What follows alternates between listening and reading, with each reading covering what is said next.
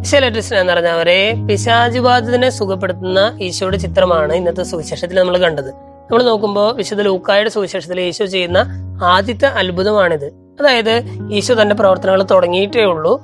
ആ നാട്ടിൽ നോക്കുമ്പോൾ ഈശോ ഒരു തരത്തിൽ പറഞ്ഞാൽ ഒരു പുതുമുഖമാണ്. അല്ലെ? ഈ പുതുമുഖമായിട്ടുള്ള ഈശോ സിനഗോഗിൽ പഠിപ്പിച്ചുകൊണ്ടിരിക്കുമ്പോഴാണ് പെട്ടെന്ന് ആളുകളുടെ ഇടയിൽ നിന്നും ഒരു പിശാചുബാധിതനായിട്ടുള്ള അല്ലെങ്കിൽ അശുദ്ധാത്മാവ് ബാധിച്ച ഒരു ഉറക്കെ അലറി ഈശോയോട് ചോദിക്കുന്നത് നസ്രായന യേശുവെ നീ എന്തിന് ഞങ്ങളുടെ കാര്യത്തിൽ ഇടപെടുന്നു?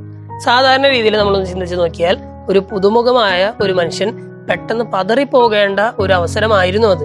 പക്ഷേ ഈശോ വളരെ ധൈര്യപൂർവം അവനെ ശാസിക്കുകയാണ് അതായത് അവനിലുള്ള അശുദ്ധാത്മാവിനെ ശാസിക്കുകയാണ് അവനിൽ നിന്ന് വിട്ടുപോരാൻ പറഞ്ഞിട്ട് ഈശോ ശാസിക്കുകയാണ്. പെട്ടെന്ന് തന്നെ ഈ അശുദ്ധാത്മാവ് ഇവനെ ജനങ്ങളുടെ ഇടയിലേക്ക് തള്ളിയിട്ടിട്ട് അവനിൽ നിന്നും പുറത്തേക്ക് പോവുകയാണ്. സ്നേഹമുള്ളവരെ ഈശോയ്ക്ക് അശുദ്ധാത്മാക്കളുടെ മേൽ അധികാരമുണ്ടെന്ന് ഇന്നത്തെ സുവിശേഷം നമ്മളെ പഠിപ്പിക്കുന്നു.